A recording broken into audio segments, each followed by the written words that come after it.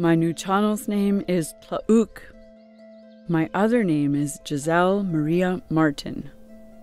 I am a citizen of Tla-o-qui-aht Nation, one of many nations who are responsible to these lands and waters. This place is home.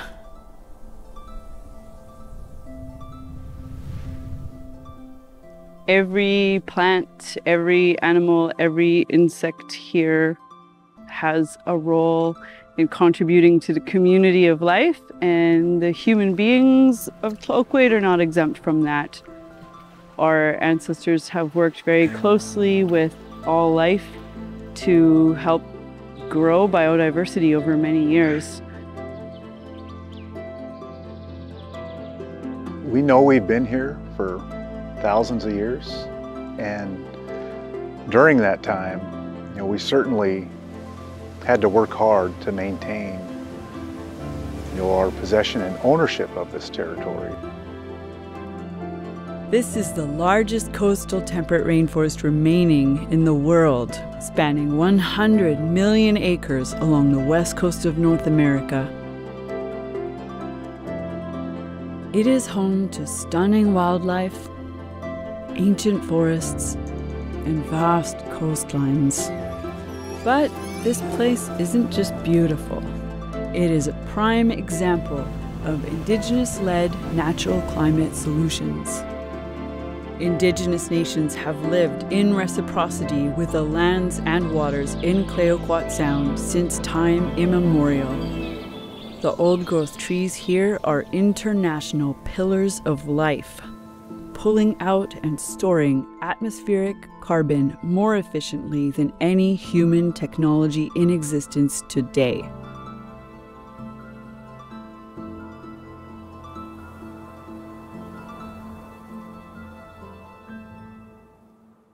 What really ties this place together are the many indigenous communities that have lived here and stewarded these lands since time immemorial. And in the Emerald Edge, what we work to do is to really support those communities, to have strong capacity and leadership, sustainable development opportunities, and really uh, the rights and authority to manage the lands and waters. Despite colonialism and industrialization, Nuu-chah-nulth nations continue the intergenerational work of upholding rights and responsibilities to protect the territory, especially ancestral gardens and old growth forests. Wanachus Hilthhuis, also known as Meares Island, is a treasure of old growth forest and was slated to be clear cut logged in the 1980s. This was and continues to be in direct conflict with Indigenous law. To protect the island, Nuu-chah-nulth nations confronted the logging corporation and the Canadian governments who sold illicit tree farm licenses. The loggers arrived in two different crew boats and uh, they uh, sent uh, the fallers ashore on a small skiff.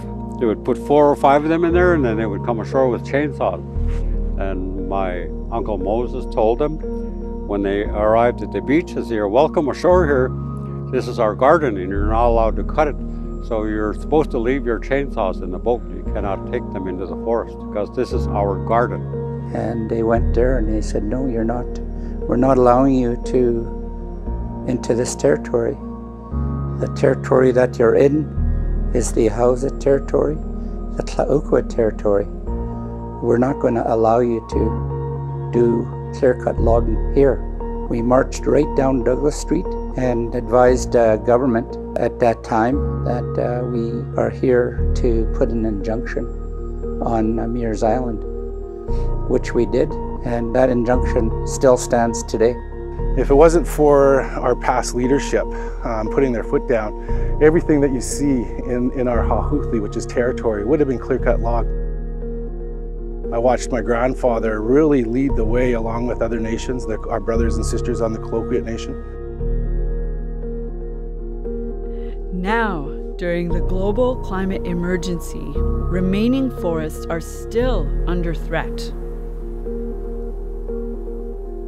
We need sustained and united efforts to protect these forests for their ecological, cultural, and life giving significance, and as a needed natural climate solution.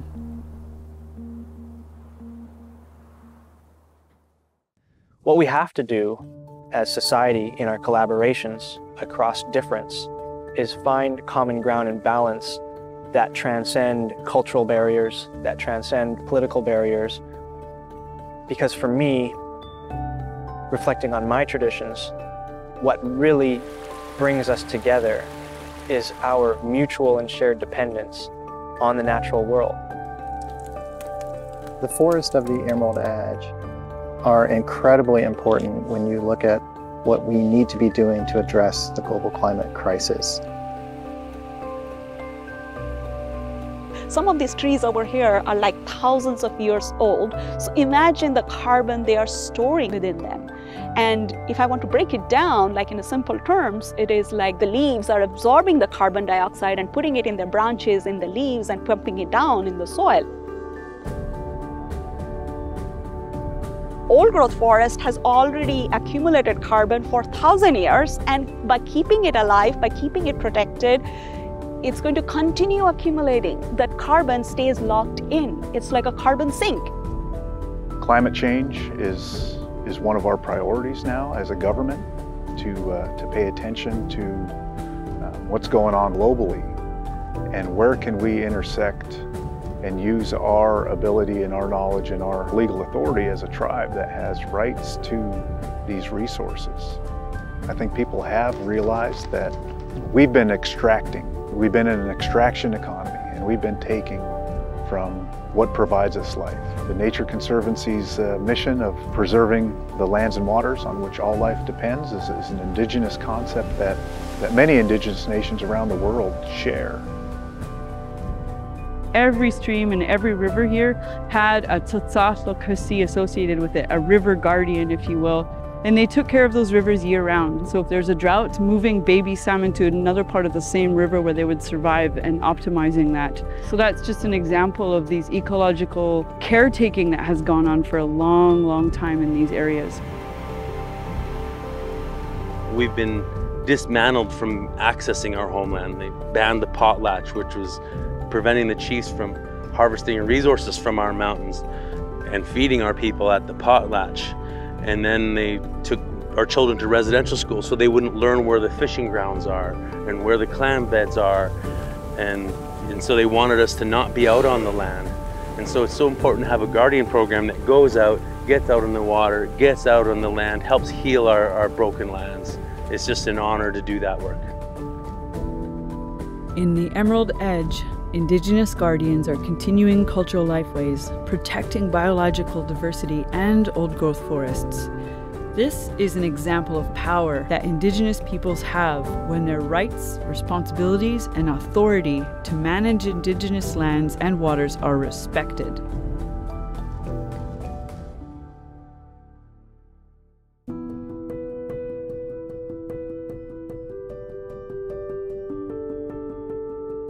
As the Habitat Division Manager, I'm the first Makah tribal member to ever have this position. The individuals that held it before were very capable and knowledgeable, but they lacked an understanding of the traditional ecological knowledge.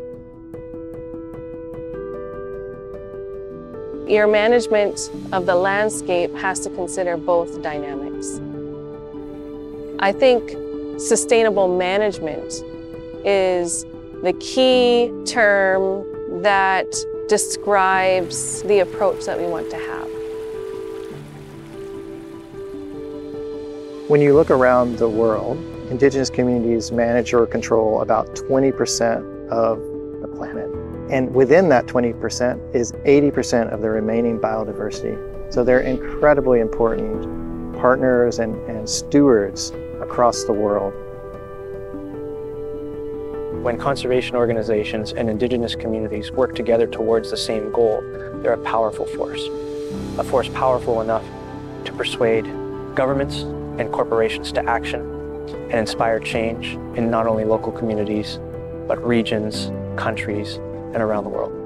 It's a game changer where we are right now, knowing that we're protecting. And, and when we protect not only our resources, we're doing this not only for ourselves as Indigenous, it's for the world. The Emerald Edge is a lot of things to many different people. And while it is a natural climate solution to my family who've been a part of this place for millennia, this is home and the source of our language, culture, and identity.